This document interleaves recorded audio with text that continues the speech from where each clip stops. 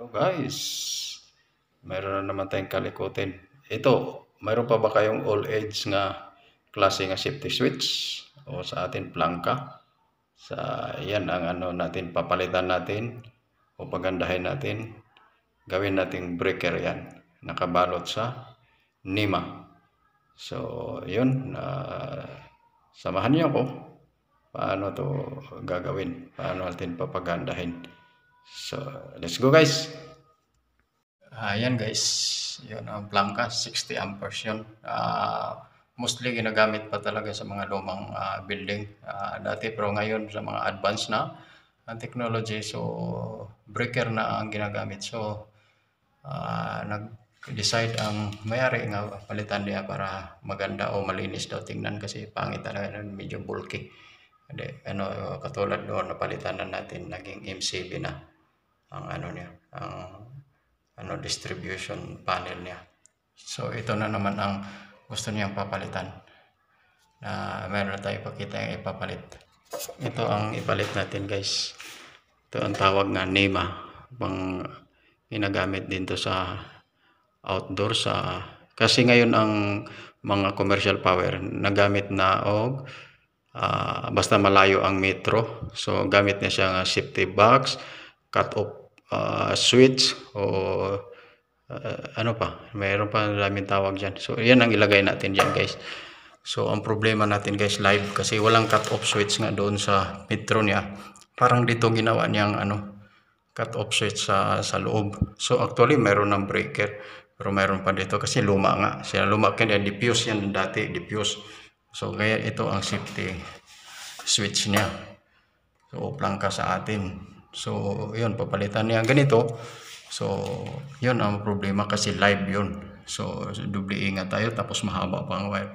So, samahan niyo ako guys. Paano natin yan diskartihan? Na live ang ano natin paggawa. Ano natin. So, binakbak ko muna dito para mayroon siyang uh, makagalaw siya. Left and, left and right. Para hindi tayo mahirapan magtanggal. So maluwag na yan. So prepare na. Tinanggal ko na rin ang cover. So pine-prepare ko na rin ang uh, nima. So binutasan ko ng malaki para maano to, malalaki-laki kasi. Baka maano pa tayo. Kasi 3 port to o 1 o 3 port. So ito 1 half lang kasi to eh. 1 half lang siya guys. So, so sigurado ko na para wala na din palpak nilakihan ko na. Kasi mahirap kasi ano naka-live kasi live wire kasi ito eh. Pag sumabi to sa mga matalas-talas baka mag-spark. So kinikil na rin natin para wala nang yung ano sa grinder. So so magdagdag pa rin tayo ng safe eh, pakita ko sa inyo ha so tanggalin natin. Una ang uh, patayin natin ang plangka para sigurado tayo So wala na tayong ilaw ngayon. Oh, wala na tayong ilaw. Patay na. So tanggalin na natin ang fuse para ano. So antabayan niyo guys para ano ang sunod nating uh, gagawin. Natin ang load side guys. Dito ang tanggal na natin. So tanggalin ang pressure baka may sasabit-sabit pa. Maganda. Sigurado. Yan lang ano. Tuloy wala naman tong ano eh. Na siya.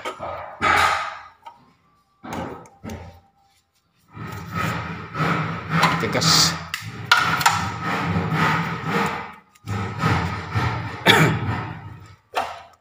Ayan guys. Ayan. Top clap na. Ayan. Safety muna natin guys. Dalawang ano ko. So, ang sunod natin guys, sandali. Sunod tanggalin natin guys. Ito guys. Yan. Luwagan lang natin konti. Baka mo pikwas. So, yan. Hindi ko na mahawakan yung camera guys. Tanggalin ko lang yan. So, sunod natin gagawin ay maglagay tayo ng tip. Nalagyan ng tip kahit mag ano, di mo na yan maano. Pag sumasabit-sabit, double check lang kay yan. Para huhugutin muna guys. I-straight muna natin ha. So, di na masabit yan. Siguraduhin lang natin eh. So, hahatakin mo lang para pag ano dito sa ano eh. Nakatakot kasi magsabit guys eh. Ayan. Dandahan lang. Total dyan ka naman mag-concentrate. Wala naman sa ibang ano. Yung lang importante di isasabit. Eh. Ayan. So natanggal na natin isa. Na guys. So di naman wala naman to. Easy na mo hawak-hawakan to kasi ah, wala naman tong balat. So ganun din ang gagawin natin sa isa guys. So yun na. Nakita natin. Tinipan natin para mabunot. Para safety tayo. Yun guys, pinagsama na natin guys para may sahan lang. Di mag ano, sabit pag ah, bunot natin mamaya. So yun na guys, bunutin na natin. Pero dumahan talaga sa butas ng karayong guys. Hirap. Yan guys, natapos din pag ano natin. Paglagay. So nagkamuritsing pa oh. Ang Dami pang ano, ayusin. Silang, eh, madali na, gabi na. Laging malagay natin oh, tahaba pa rin ng ano guys. Sobra nito. So sige lang, at least na ano, i-install na natin guys. Ayan guys, na tapos din. Mga ganda na guys oh. Ganda ng forma sa luma. Wala masyado ito na oh.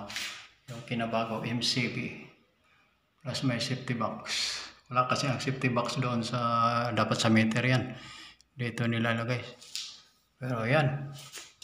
Dapat ganun ang distribution panel sa inyong mga bahay para safe na safe. Oh, thank you guys. God be the glory.